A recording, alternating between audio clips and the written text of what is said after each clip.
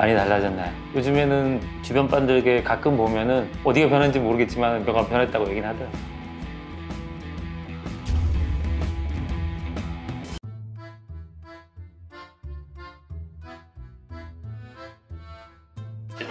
잘 있게 좀 신경 써주셨으면 강조가 몇번 들어.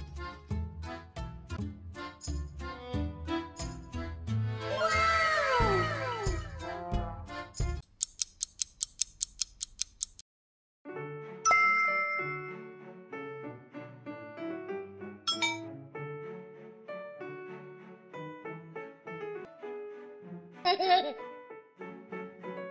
감사합니다.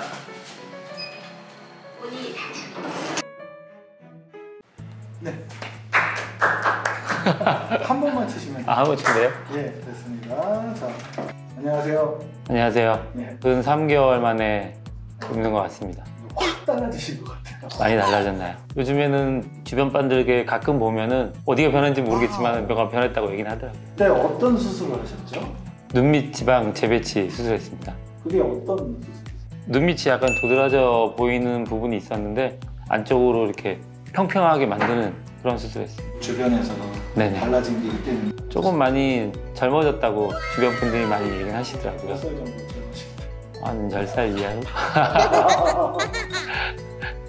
100점으로 본다면 기대한 것보다 95점? 95점? 네네. 나머지 5점은 뭐죠?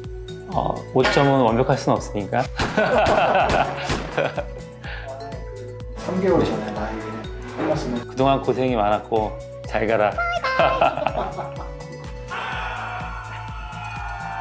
지금은 아침에 일어날 때마다 거울 볼 때마다 뭐 새로운 나를 발견하는 모습이 굉장히 좋습니다.